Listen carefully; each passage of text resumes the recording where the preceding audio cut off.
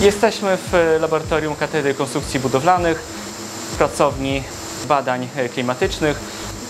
Stoję tutaj przed komorą klimatyczną do badań belek w skali naturalnej. Badamy tutaj belki w cyklicznie zmiennych temperaturach, czyli e, cyklicznie zamrażamy, rozmrażamy te belki i robimy badania porównawcze również w stałych temperaturach.